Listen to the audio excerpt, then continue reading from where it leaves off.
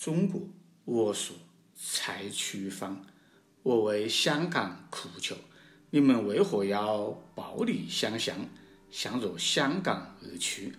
既然羊羔已叼在嘴上，东方明珠多么美丽的城邦，曾经一片枯涩的渔村孤岛，一百七十年的心血迎建打造，因为受到过上帝的祝福，留下过一句维多利亚海港，人人安居乐业，一片祥和。回归与馈赠已被你们收下，既然羊羔已叼在嘴上。为何要把它无情的折磨、摧毁掉？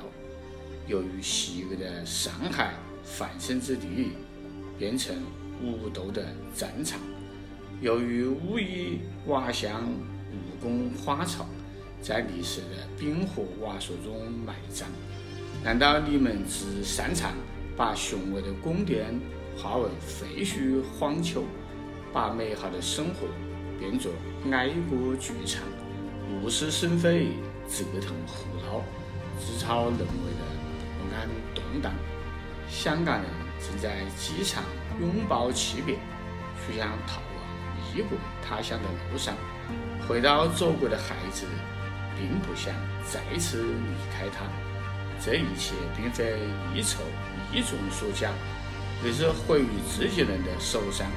既然羊羔已吊在嘴上，难以可期，就让他安乐又平静的死去吧，死在苦求的祖国的怀抱。为何还要像豺狼般对待他？不为哀民所动，摇旦咽喉，侧难思故，事迹自高。我为香港祈求，也为中国祈祷。